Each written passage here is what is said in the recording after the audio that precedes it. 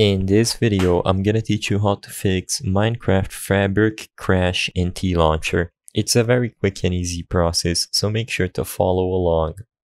First, open up the control panel on your computer.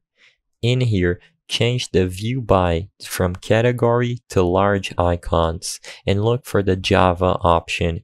If you don't see the Java option, make sure you go to the Java website and download Java before proceeding. Once you ensure that you can access the Java control panel, click on the Update tab and select Update Now on the bottom right corner.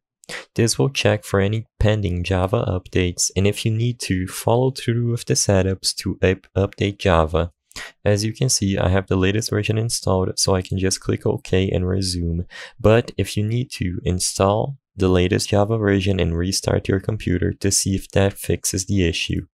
If you are still encountering issues, open up your web browser and look for the NVIDIA or AMD graphics drivers. If you do not know which graphics drivers you need, open up the device manager and look for the display adapters in your computer.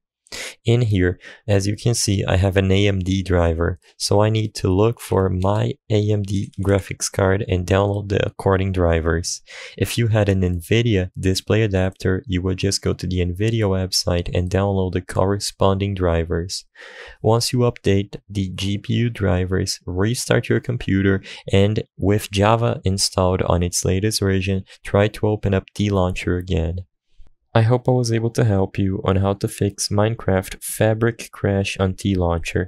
If this video helped you, please be sure to leave a like and subscribe for more quick and easy tips. Thank you for watching.